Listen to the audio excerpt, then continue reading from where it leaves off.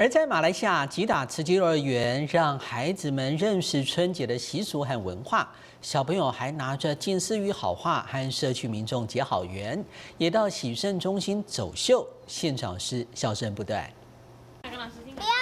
手上拿着近思语春联和橘子，吉打慈济幼儿园的小朋友浩浩荡荡列队向左邻右舍拜年，蹲起木林。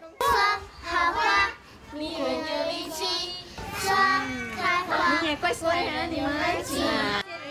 新年歌曲大声唱，孩子们欢喜，对于拜年的习俗也不再感到陌生。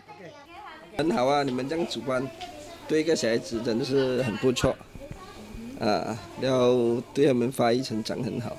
恭喜恭喜说不完，从街上回到静思堂，也把欢笑带到慈济喜盛中心。一颗颗表情丰富的橘子，是护理人员感恩的回馈。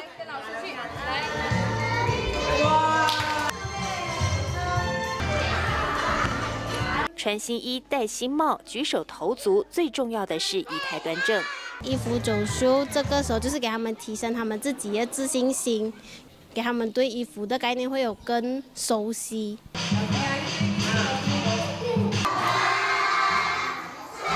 欢喜过新年，幼儿做主人，表演节目，准备点心，大大方方与人分享。大爱新闻魏家言、王俊义，马来西亚吉打报道。